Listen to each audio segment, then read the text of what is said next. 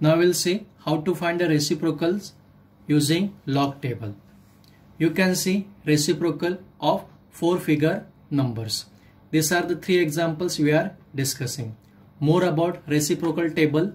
You can see first two digit in this column, third digit in this column, fourth digit in mean difference. Remember in reciprocal mean difference has to be subtracted. You can see reciprocal from 1 to maximum 9.9. .9.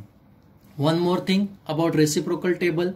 If you see the carefully reciprocal of 1 is 1.00 obviously 1 upon 1 is 1 but if you see other number it is 0.9091 0.8331 that means all other numbers are 0. Point other numbers okay so our answer must be after 0 point given number so let us see now. First two digit 5.8 will see in this column. Where it is 5.8 here. I already did the marking 5.8 third digit 3 third digit is 3 that is 1715 1715 fourth digit is 6 fourth digit is 6 that will say mean difference. That is equals to 2 means what we have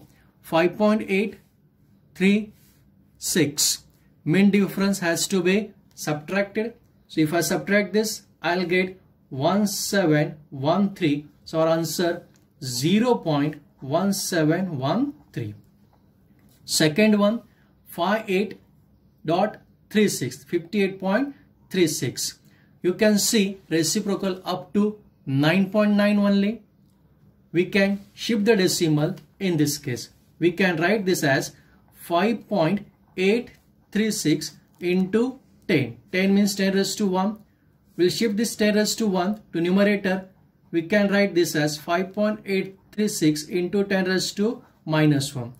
In the same manner, first two digit, third digit, 6, fourth digit.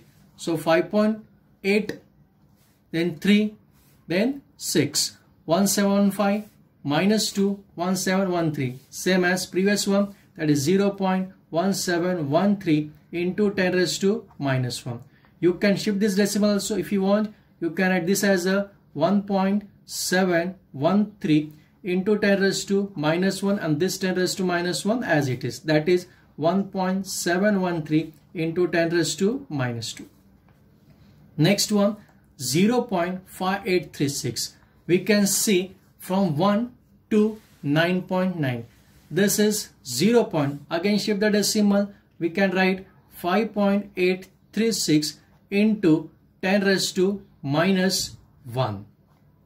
This 10 raised to minus 1, if we shift it, you can write this as 5.836 into 10. Reciprocal of this in the same manner, we'll get 0.1713 into 10, which you can write this as 1713, 1.713. Thank you students.